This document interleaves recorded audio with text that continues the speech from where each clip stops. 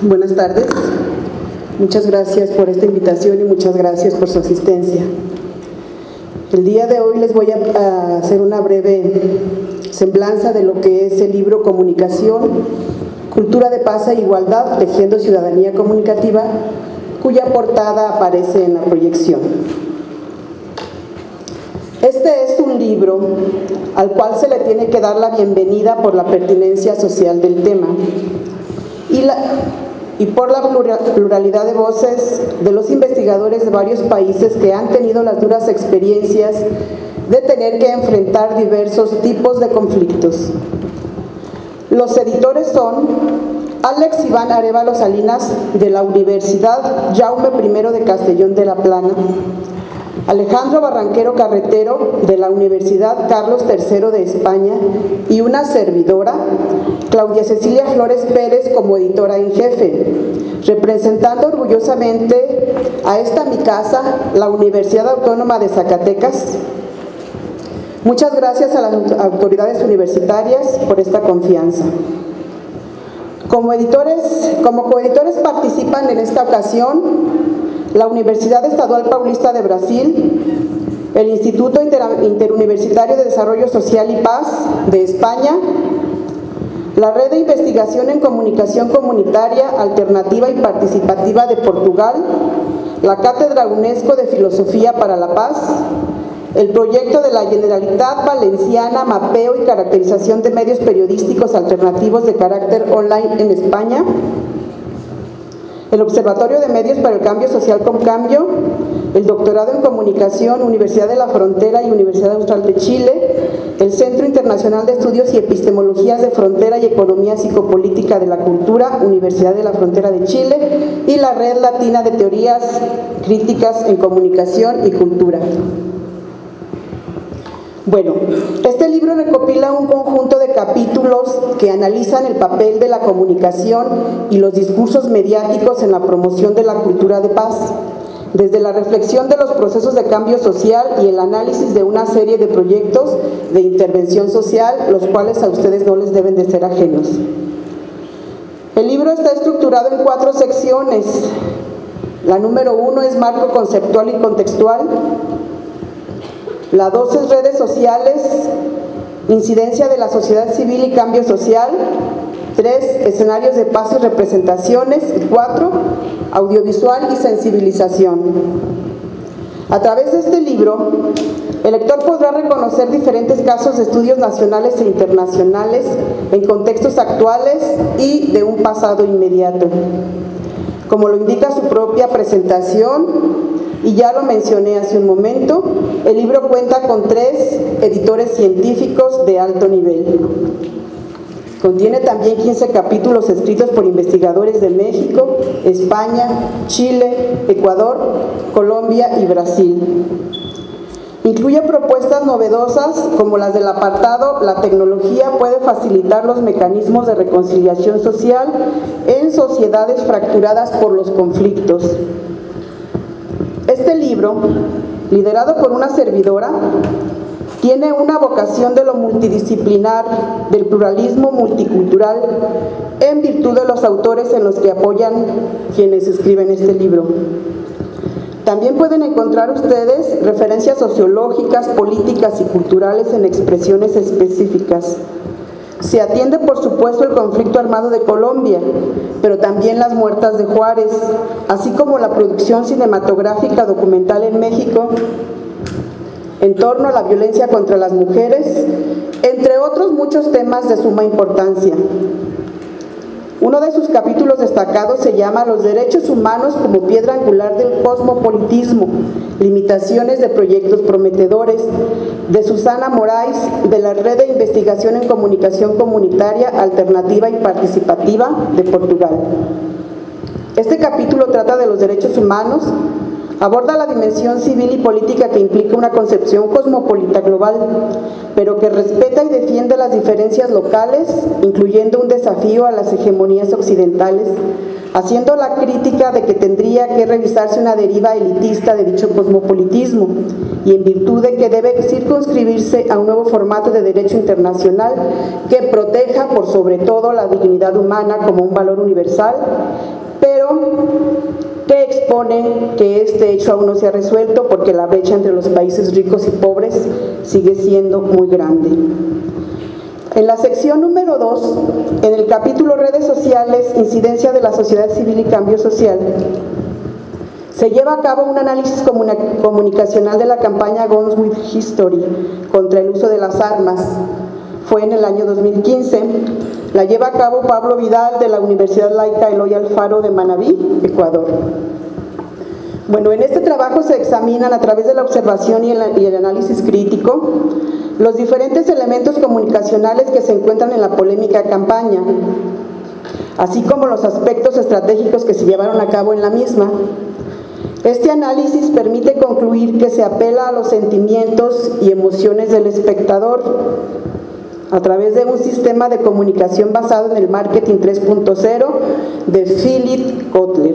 en donde no solo se evocan toda clase de sentimientos y emociones, sino que además se evidencia el concepto erróneo que tiene el ciudadano para justificar la compra de armas, como es para su protección. Este mensaje fue, fue pensado para que llegue a los grupos de interés, pero es importante aplicar estrategias que consisten en una combinación específica de instrumentos de publicidad, persuasión, emociones y relaciones públicas que la organización utiliza para lograr sus objetivos de comunicación y de mercadotecnia. En este sentido, cuando el cliente acudía a comprar el arma, se le explicaba la funcionalidad y características de las diferentes armas que habían en la tienda para que se adecuasen a sus necesidades, pero también el vendedor les explicaba la historia que tenía cada una de esas armas, como por ejemplo, quién las poseyó, qué crimen se cometió con ellas y cuántas personas fueron asesinadas a través de dicha pistola. Obviamente, el cliente se retiraba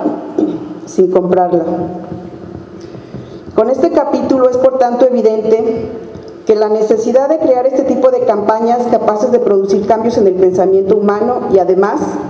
hacer uso de las nuevas herramientas del entorno digital, adaptándose a los nuevos paradigmas de la comunicación para lograr cumplir con mayor eficacia los objetivos propuestos en lo que muchos llaman la responsabilidad contemporánea. En la sección número 4 Destaco yo el capítulo número 2 que se llama Representación de las problemáticas de violencia e injusticia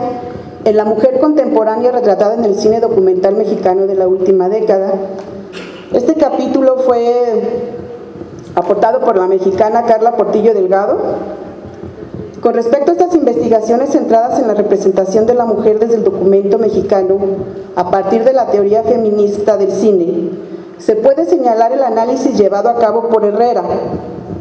quien recopiló y analizó una serie de documentales realizados en México entre 2000 y 2010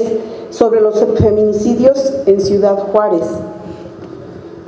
Este estudio buscaba desentrañar la representación cinematográfica existente sobre esta temática, centrando su mirada en la violencia de género, en su sentido más amplio, es decir, aquella que no se circunscribe únicamente al terreno de la pareja o expareja, sino que amplía su abanico a más actores sociales e institucionales. Por los hallazgos anteriormente descritos, esta investigadora asevera que si el tratamiento de una cinta que retrate los feminicidios en Ciudad Juárez no parte desde el ente de la perspectiva de género, continuarán entonces reproduciéndose los estereotipos de género y las relaciones de dominación, sentenciando que podría extrapolarse a distintas situaciones de riesgo o conflicto experimentadas por la mujer contemporánea en México. En segundo término, se reafirma que el empoderamiento de la mujer no logra la solución a las problemáticas de violencia e injusticia, la única que manifiesta un camino más certero gracias a su resonancia mediática y el apoyo de distintos sectores corresponde a Lidia Cacho en Los demonios del Edén. De hecho, y como se ha referido anteriormente, la impunidad abunda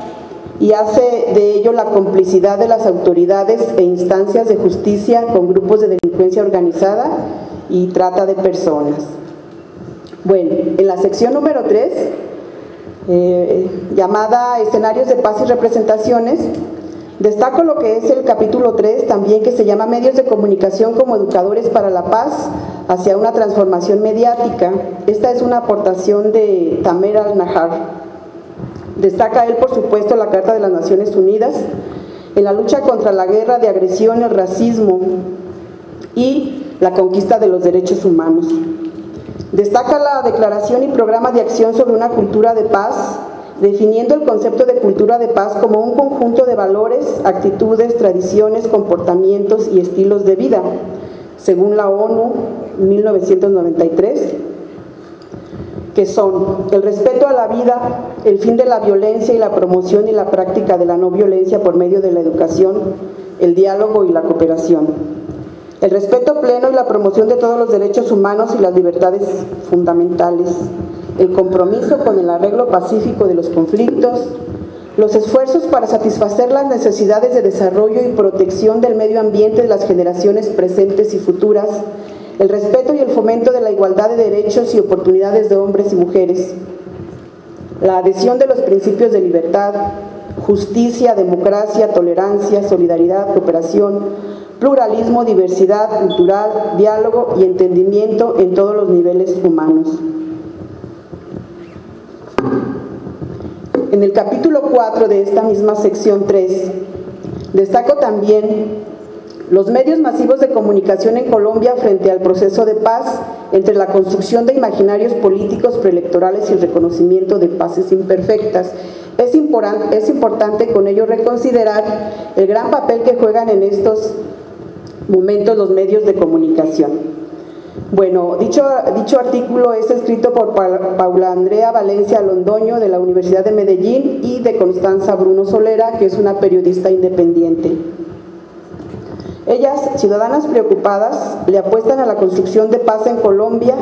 y en este compromiso han aplicado metodologías de narrativas a través de líneas de tiempo individuales y colectivas, narrativas de cicatrices, cartografía corporal, entre otras,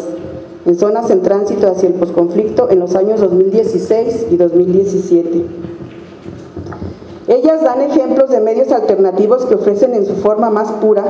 un periodismo al servicio de la construcción de paz en Colombia y de periodistas independientes que desarrollan pedagogía, enseñándoles tanto a las víctimas como a los victimarios a escribir su participación en la historia del conflicto armado y su contribución en el tránsito hacia el posconflicto, en medio de un proceso con grandes altibajos con la finalidad de reconstruir sus historias de vida y aliviar un poco el dolor ese dolor que lo lleva día a día a perder incluso las ganas de vivir. Estas investigadoras proponen a través de este importante artículo la categoría de paz imperfecta, la cual finalmente es un mecanismo claro de prevención de los conflictos y aporta una base sólida para la solución duradera, pues ataca las causas estructurales del conflicto desde una perspectiva integral y no solo estructural, haciendo de los sujetos partícipes y artífices de su desarrollo y legitimadores, por supuesto, de la paz cultural. En los términos de las ciencias de la paz para Galtung, la objetividad debe ser entendida como diálogo intersubjetivo. En este sentido,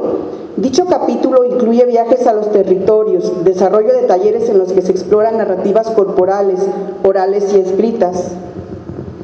es una estrategia terapéutica que aplica la tesis de Ricoeur. Toda crueldad clama venganza y exige una narración para su alivio. Clave para ahuyentar los fantasmas del pasado y liberar sentimientos reprimidos por la guerra. Hacer memoria desde el victimario. Para ello, también han solicitado capacitación a periodistas independientes que les instruyen en redacción de textos y tipos de narrativas. La recomendación de estas investigadoras es que para que los medios de comunicación aporten a la verdad, la justicia, la reparación y la no repetición, deben interesarse en las transformaciones de los territorios golpeados por la violencia, haciendo investigaciones rigurosas de largo aliento con enfoque de construcción de paz. El libro es amplio, hay muchas cosas que decir, el tiempo es corto, Y finalmente voy a mencionar el capítulo Narrativas orales y percepciones para la construcción de escenarios de paz y convivencias de los habitantes de Tibacuy, Dinamarca. Este capítulo fue escrito por Alfonso Alberto Angarita de la Universidad Nacional de Colombia. En este capítulo se propone un mecanismo de intervención emergente basado en la comunicación como elemento fundamental para el restablecimiento social de dicha comunidad, enfocado en las narrativas individuales y colectivas para reconstruir la memoria histórica de este pueblo que fue azotado por las FARC, azotado por los paramilitares y por si fuera poco fue azotado por el crimen organizado. De esta manera, en tiempos del progresivo e incesante fortalecimiento de los grupos de autodefensas,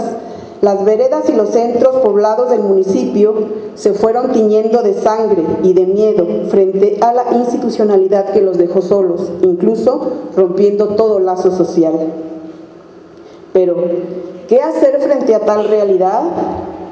Recapitular parece ser la única respuesta. Utilizar la narrativa, el recuerdo que representa a la memoria y que permite traer el ayer al hoy,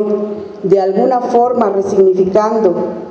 dirigiendo, convirtiendo en palabra, en esa palabra que puede permitir nominar, reacomodar, jugar el juego de dominó, buscando cuáles son las palabras adecuadas, cuáles son las fichas que se equiparan para ir develando la niebla que oculta la vivencia de aquel lejano momento de la esperanza, de la confianza en el otro, de su pueblo, de sus instituciones hoy fragmentadas. Parece ser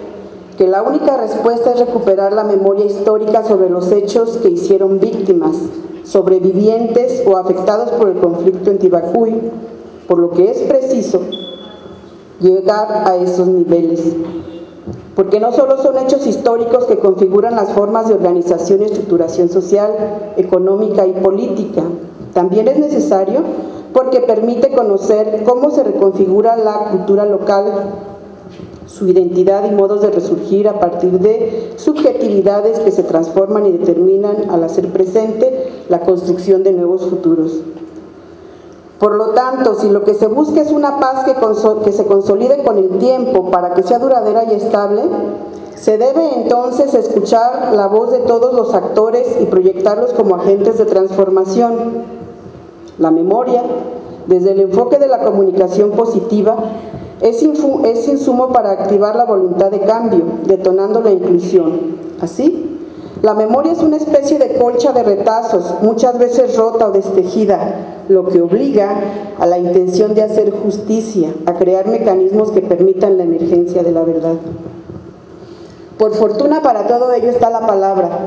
para recordarlo siempre, que no se nos olvide nunca.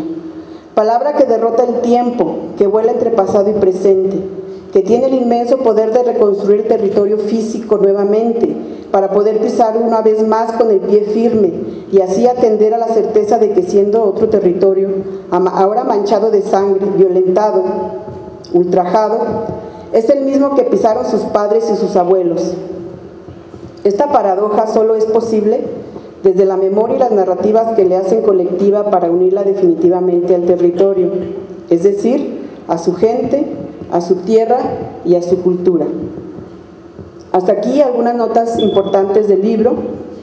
Termino con la atenta invitación para que lean este libro donde se congrega una amplia gama de pensamientos desde diferentes espacios y trincheras, desde diferentes sufrimientos, desde diferentes narrativas.